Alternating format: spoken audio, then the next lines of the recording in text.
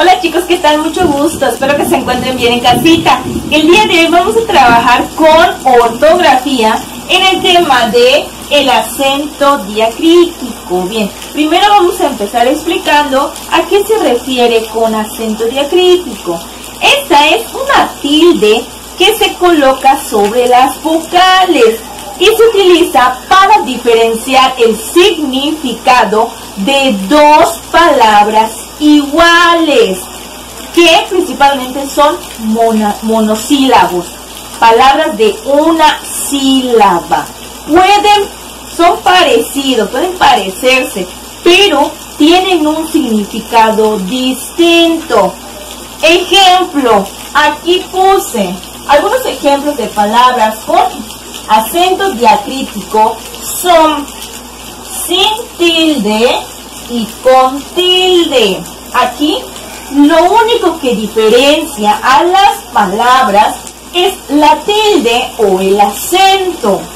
Aquí tenemos que el sin tilde tiene la función de artículo. Como por ejemplo, mi libro está encima de la mesa y el lápiz también. Puedes observar que en esta oración mi libro está sobre la mesa y el lápiz también. Funciona como artículo nada más, solo para señalar pues dónde se encuentra el lápiz. Y aquí, con tilde, el funciona como pronombre personal. Como por ejemplo, él vendrá a visitarnos. Estoy señalando que una persona va a visitar. Él vendrá a visitarnos.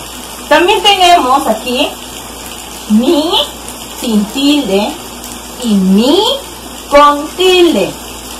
Mi sin tilde tiene la función de adjetivo posesivo, algo que me pertenece. Y un ejemplo de este podría ser, me gusta mi libro, me gusta mi libro, o sea que es mío. Y también tenemos el mi, que tiene la función de pronombre personal. Y un ejemplo de eso es, a mí me gusta el cine. estoy señalando que mi persona me gusta el cine. Entonces funciona como pronombre personal. Otro también que tenemos es te te. Te funciona como pronombre personal. Como por ejemplo, ¿te gustaría ir al cine? Funciona como pronombre. Y te como bebida. A mí me gusta tomar té. Entonces puedes ver que la función es de bebida, algo que vas a tomar.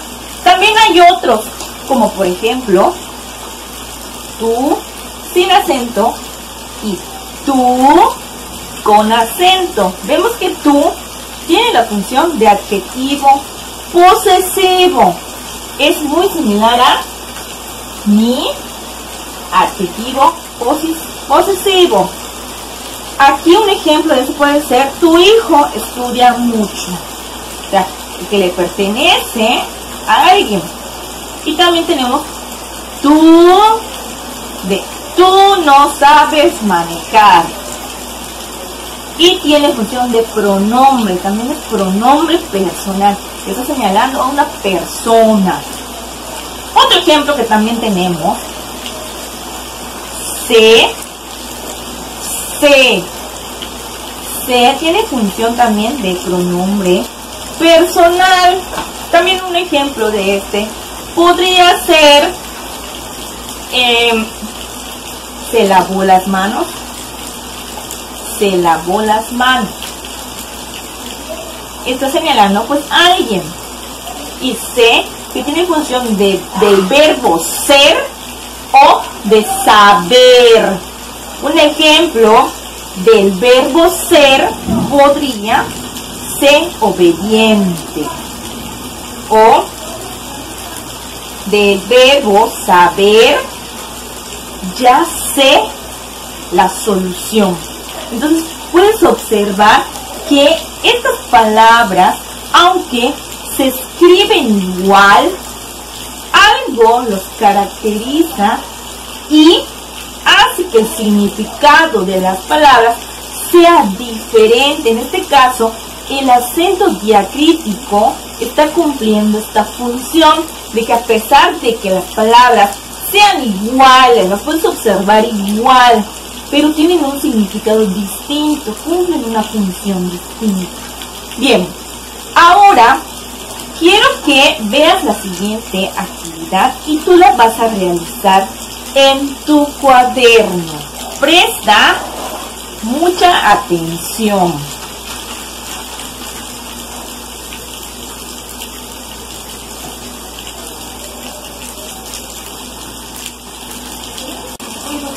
Bien, aquí puedes observar el ejercicio que vas a realizar en tu casa. La instrucción dice, observa los monosílabos y ordénalos en la oración dependiendo su significado.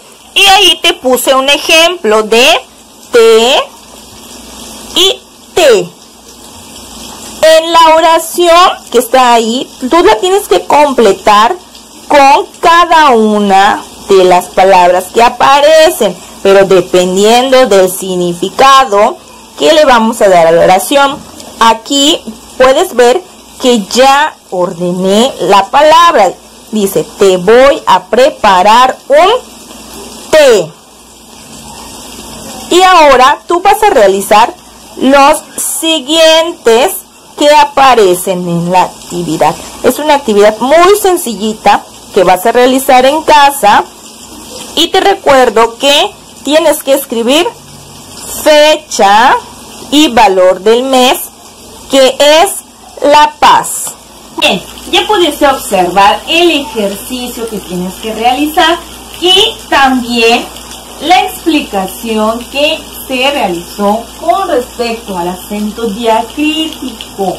Espero que hayas comprendido de qué se refiere a la tilde que se le pone a la palabra palabra igual a la otra. Lo único que la distingue y la diferencia es la tilde. Espero que te haya quedado muy claro la clase del día de hoy. Espero verte pronto. Muchas gracias.